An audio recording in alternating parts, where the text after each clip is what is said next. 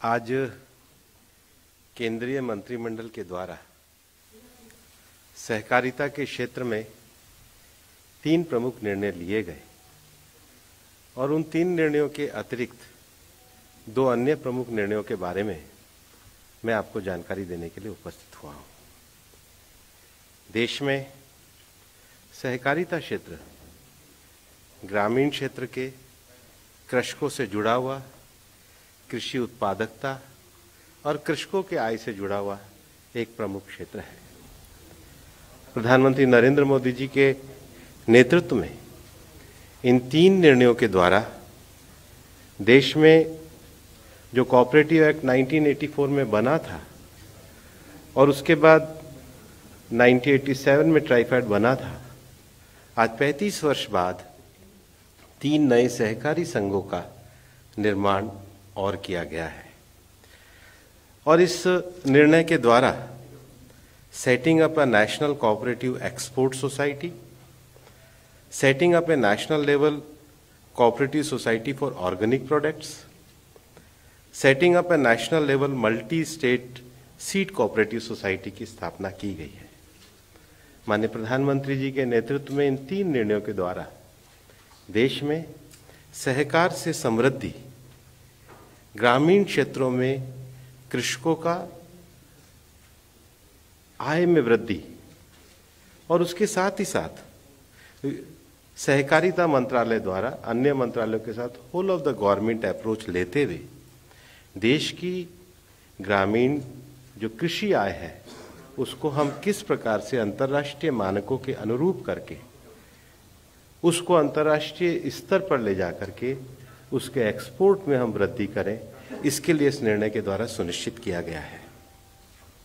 हम जानते हैं कि सहकारी समितियों के माध्यम से किसानों को बीज उपलब्ध कराने, उनके द्वारा उत्पादित ऑर्गेनिक प्रोडक्ट की मार्केटिंग तथा कृषि उत्पादों के एक्सपोर्ट में सहायता देने के लिए इन तीनों संशोधनों के माध्यम से राष्ट्रीय स्तर पर मल्टी स्टेट कोऑपरेटिव सोसाइटी स्थापना करने के लिए मंत्रिमंडल द्वारा अनुमोदन किया गया है। हम ये भी जानते हैं कि हमारे देश में कोऑपरेटिव सोसाइटी का इतना महत्व है कि देश में आठ लाख पचास हज़ार रजिस्टर्ड कोऑपरेटिव हैं, जिसमें लगभग उनतीस करोड़ मेंबर हैं। और ये सदस्य प्रमुख रूप से ग्रामीण इलाकों से हैं, कृषि और अलाइड गतिविधियों से जुड़े हुए हैं। ये संशोधन उनके जीवन में संवर्धन लाने के लिए आय बढ़ाने के लिए कैपेसिटी बिल्डिंग बढ़ाने के लिए, ग्रामीण क्षेत्र के आधारभूत ढांचे के विकास के लिए किए गए हैं। और इसलिए भारत में एक बहुत बड़ी क्षमता हमारे ऑर्गेनिक प्रोड्यूस में है। और भारत के ऑर्गेनिक प्रोड्यूस का जो दायरा है, उसको अंतर्राष्ट्रीय स्तर पर बढ़ाने के लिए ये संशोधन किए गए हैं। और इसलिए इन संशोधनों के माध्यम से उत्पादन स्थानों के नज़दीक तथा रेस्पॉन्सिबल प्राइस पर ऑर्गेनिक प्रोडक्ट की टेस्टिंग और सर्टिफिकेशन फैसिलिटीज़ को भी उपलब्ध कराया गया है। और इसके लिए जो अभी तक देश में एक अभाव महसूस किया जा रहा था कि नेशनल लेवल पर कोई कोऑपरेटिव संस्था नहीं है, ये विशेष रूप से हमारे किसानों के जो ऑर्गेनिक प्रोड्यूस हैं, उनकी आवश्यकताओं को पूरा करने का काम करेगा। इसके साथ ही साथ भारतीय बीज सहकारी समिति लिमिटेड के द्वारा जो हमारे सीड का प्रोडक्शन और प्रोक्योरमेंट है और किसानों का जो बी सीड है, बीज है, उसके लिए एक ब्रांड की उपलब्धि कराने का काम इसके द्वारा किया जाएगा और देश के कोऑपरेटिव नेटवर्क का भी उपयोग किया जाएगा। उसके साथ ही साथ ये सोसाइटी के माध्यम से supply chain end to end institutional support और ऑर्गेनिक लैब की जिसकी बहुत आवश्यकता होती है सर्टिफिकेशन एजेंसी का एम्पैनल करते हुए किसानों को सस्ती दर पर टेस्टिंग और सर्टिफिकेशन की जो सुविधाएँ हैं, वो उपलब्ध कराने का प्रयास होगा।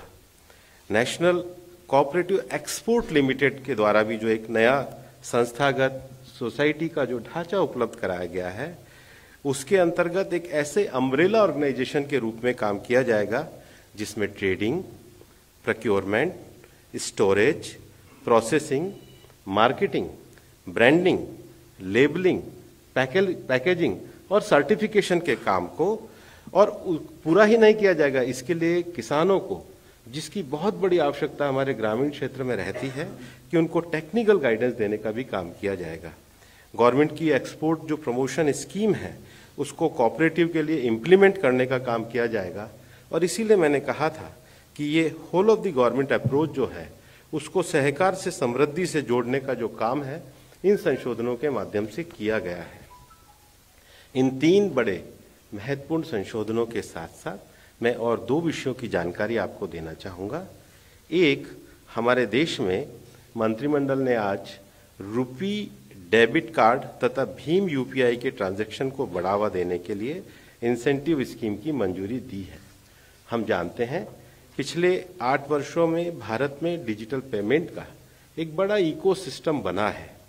पिछले दिसंबर में डिजिटल पेमेंट की वैल्यू जो 12 लाख करोड़ थी इस संख्या को भारत के जीडीपी के अनुपात में देखें तो ये लगभग 54 परसेंट है। डिजिटल पेमेंट को और आगे बढ़ाने के लिए माननीय प्रधानमंत्री जी ने कैबिनेट में 2,600 करोड़ रुपए मंजूर किए हैं। इस इंटेंस इस इंसेंटिव स्कीम से डिजिटल पेमेंट को एमएसएमई सेक्टर अनऑर्गेनाइज सेक्टर किसानों और मजदूरों तक ले जाना संभव होगा। ये पेमेंट बैंकिंग नेटवर्क से किया जाएगा। एक और निर्णय जो मैं आपके सामने बताना चाहता हूँ मंत्रिमंडल ने उसको एक कार्योत्तर स्वीकृति आज प्रदान करी है, जिसमें कोलकाता स्थित national centre for drinking water sanitation and quality का नामकरण, doctor Shyama Prasad Mukherjee national institute of water and sanitation के रूप में एक कार्योत्तर स्वीकृति प्रदान की है और national centre for drinking water sanitation and quality Swachh Bharat mission के लिए बजट के अलावा वित्तीय संसाधन जुटाने के लिए डिसबर्स करने के लिए एक अच्छे प्रीमियर इंस्टीट्यूशन के रूप में उसको अभी वो जो कार्य कर रहा है उसके नामकरण को किया गया है।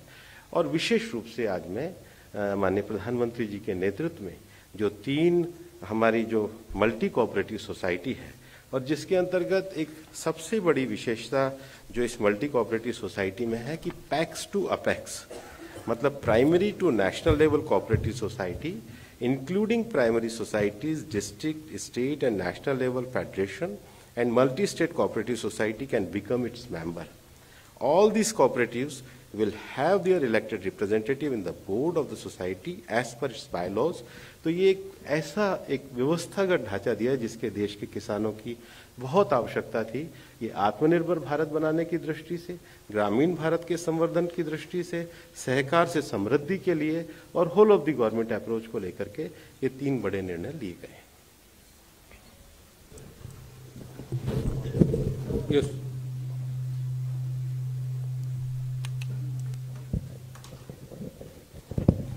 Sir, uh, Shishir here from Hindu Business Line.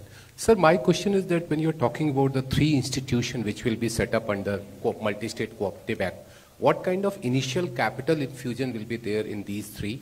And the second thing is that many times we have seen since the cooperative is a state subject, so there is always a tussle between center and state.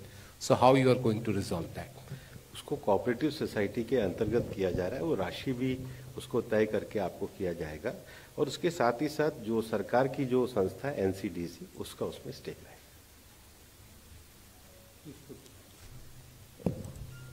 So good afternoon, Sapna Das from CNBC TV 18. So you mentioned the cabinet giving its nod, uh, you know, for further promotion of digital transactions, uh, rupee debit card and Bhim UPI. Could you please elaborate once again and give us the numbers once again, sir? And sir, preferably in English if possible. जी Thank you, sir. Thank you very much. Thank you पिछले आठ वर्षों में देश के भारत में digital payment पर बड़ा इकोसिस्टम बना है पिछले दिसंबर में डिजिटल पेमेंट की जो वैल्यू 12 लाख करोड़ रुपए थी इस संख्या को भारत में जीडीपी के अनुपात में देखें तो लगभग चौवन फिफ्टी फोर परसेंट है डिजिटल पेमेंट को और आगे बढ़ाने के लिए माननीय प्रधानमंत्री जी ने कैबिनेट में 2,600 करोड़ रुपए मंजूर किए हैं। इसके साथ ही साथ इस इस इंसेंटिव स्कीम में डिजिटल पेमेंट को एमएसएमई अनऑर्गेनाइज सेक्टर और किसानों और मजदूरों तक ले जाना संभव होगा। ये कार्य पेमेंट बैंकिंग नेटवर्क में किया जाएगा। ये पूरे निर्णय के साथ आ रही है।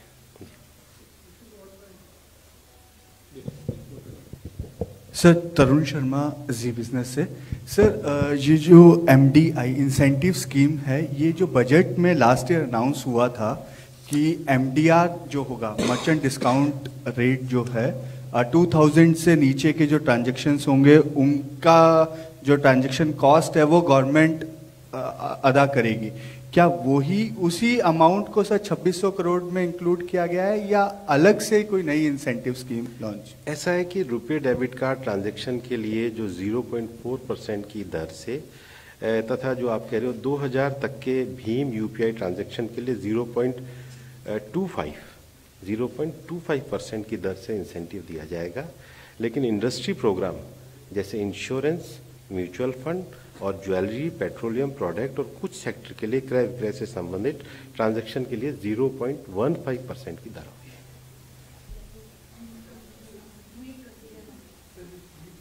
जी ठीक है आप फैक्चुअल ट्वीट कर दें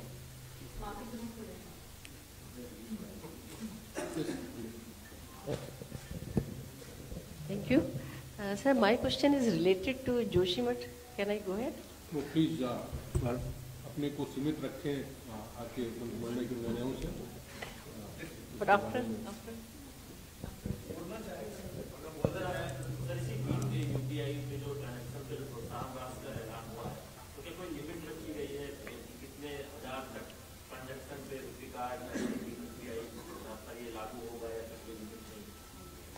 इसमें दूर दराज के क्षेत्रों के लिए ज़्यादा प्रावधान किया है? इसको वर्टिकल विस्तार देने के लिए।